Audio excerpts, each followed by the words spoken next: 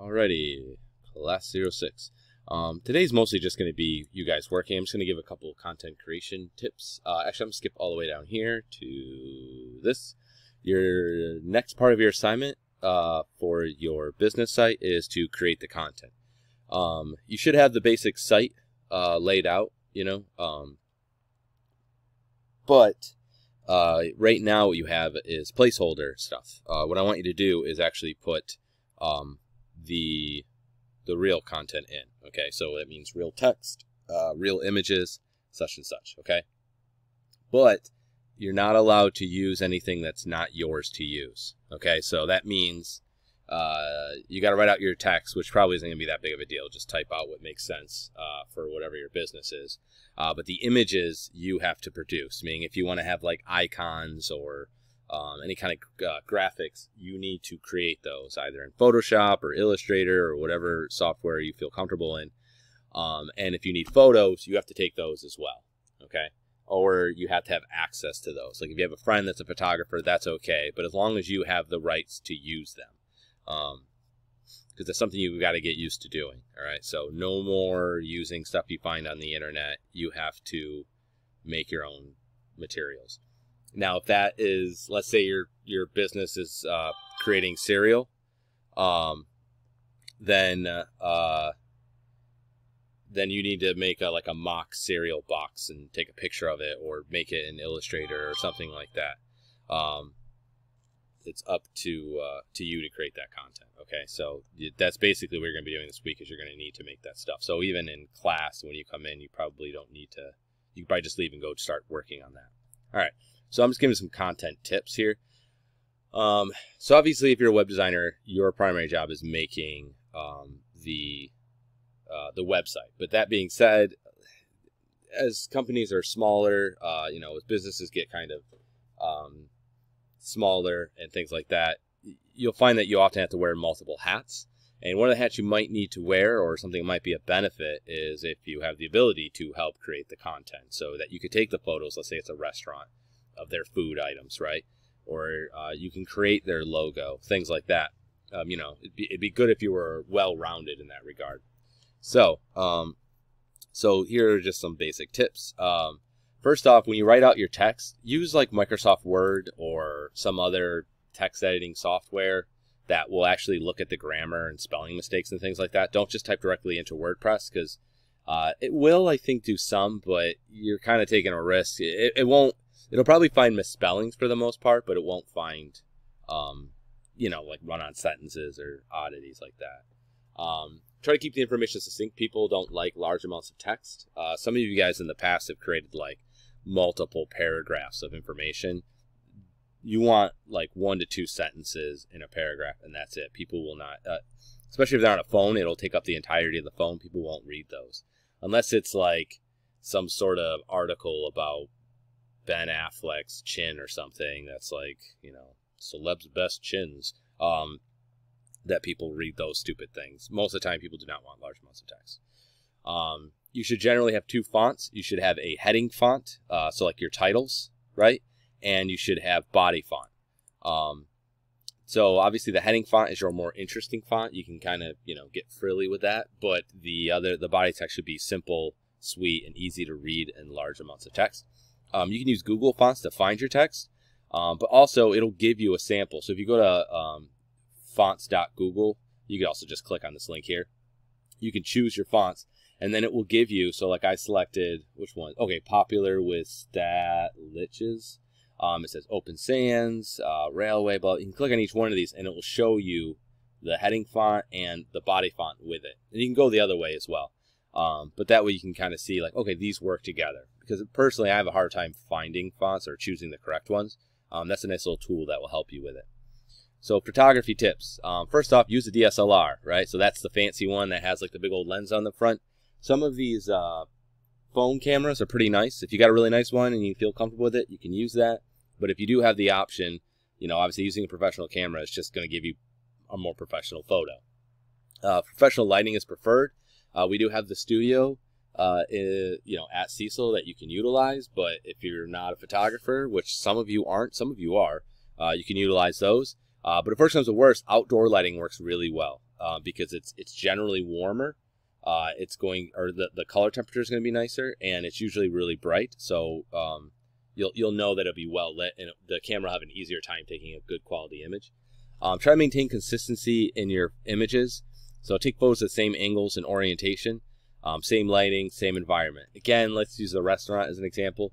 If you're taking photos of their food dishes, you should do them all from the same like three quarters bird's eye down in the same room. You know what I mean? In the same environment. Uh, with the same lighting, so that way when you have them, uh, they'll all match, right? It'll have a nice unity to it. If they're wildly different, then it's just going to be all over the place and it's going to look very haphazard. Um, if you are using multiple images and you do not have um, control over some of that aspect and they're in close proximity to each other, meaning like on the page, you could try desaturating, tinting, or using some other general adjustments. So if you look here, I have these um, four photos from when I was at Harvard. Um, and you can see they're very different, right? So you got like green versus this red and this kind of white, whatever. But if I take them all and I just do a general tint to them, you can see now they match generally, right? So I mean, they, they could match a little bit better, but considering how wildly different they are, just by tinting them all the same the same amount, or you could desaturate them all, or you could add like a kind of a opaqueness to them, um, that will help them uh, line up. Okay, so if you're trying to uh, pull more unity, if you see your sites getting too disparate, uh, that's one of the things you can do. Um, some graphic tips. Um, generally, keep them simple, keep them clean. Um, try and maintain the color scheme that you're using for everything else. So if you have a, a, a logo or something, make the logo the same as your site's um, color scheme, or vice versa. If you already have the logo, then make the site match that. Um, take hints from the ch font choice. So uh, you know if you have a really like a cursive font, this one's not, but if you were using like a handwritten font, um, you know you might be able to get like your graphics could be a little bit more like uh, a little more human. They could be kind of written squiggly. Um, if you got something that's real like strong and blocky, then you probably want to make really blocky um, graphics. Um, you can also uh, utilize uh, Font Awesome. You click on it here, and you'll see. Or you won't. Yeah, you can click on here, and then you can um, use these Font Awesomes as well. Uh, see here. Um, the nice thing with these is that these have like those standard icons that everybody knows that they accept.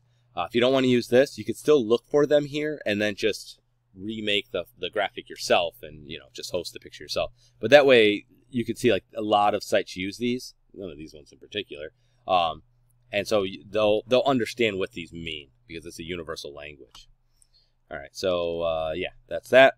Now some Divi tips. Um, one thing you can do is once you've made an element um, or a layout or a row or whatever every one of them you can press on this little save to um, library button and what it'll do is it'll allow you to save it to the library and then you can use that same thing again. So for instance, um, let's say I take this guy and I do a sepia tone on him, right? I could hit OK. And then afterwards, I can go like this and I could say like, you know, um, tint or image tint, tint, okay? And then I'll save to library. Well, I probably should put a category in it. But anyways, I'll do that. Then if I want to put in another, if I want to put in another element, and I could say, oh, add from library. Gotta wait a second. Image tint. Boom. It'll put that in there, but I can replace this picture, but that way they'll have the same tint applied to both of them. Um, so if you have like some sort of pre-formatting, and you can do that for everything. So like that's on a module, you can do it for um, uh, a section, uh, a row. You can click on here. Um, Oops, not there. Sorry. Uh, I got to hover over. Here we go. You can save the, the row.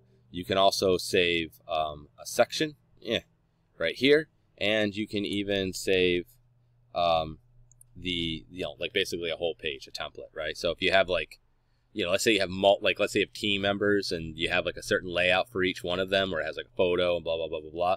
You could save that layout and then for each team member, just replace the information that's in there. So that's kind of useful as well. Um, yeah. Okay. Uh, typography. You should try and keep the. Um, uh, you should you should set up the default uh, heading and uh, body fonts. So if you just go, you got to be in the dashboard. Uh, we will discard and exit. You have to be in the dashboard. But if you go to Divi Theme Customizer, it's going to bring up um, uh, this little menu eventually. Okay. Which is you probably remember normally you have that little customize button on the top there, but when you're using the Divi theme like, or in the Divi builder, that doesn't show up. You have to do it through the um, the uh, dashboard.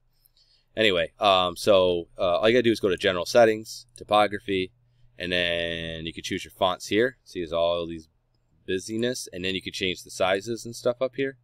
Go away. We'll save that one. Okay, it's Alan now. Um, and you can change the colors and all this other stuff right in here, which is really nice. Um, you can also, not that one, you can also uh, adjust your nav bar. So again, if you go back, let's go back to the beginning, go here. Um, you go to um, header format, and then right here it says header style. Um, you can see right now it's got this over here. It's got the default, so it's got the logo and that. But you can see there's different ones. There's centered, which has got the logo like that. Uh, centered inline logo. Uh, slide in. This one's kind of neat. So you hit this, it slides over. Um, and then they have a full one too. Watch, same thing, but watch. Whoop. Okay, so that's kind of cool. Um, you can hide the navigation until you scroll, right? So I could. Well, it's not. I can't really scroll right now, but it, will only pop up when I go move up to it. Um, so that's another thing you can do, which is useful. Uh, there's a bunch of different options there. Uh, let me see. Okay, so then we'll just go with the images here. So I'm going to exit out of this and hit OK. And then I'm going to go to Pages. And let's just go back to the About one.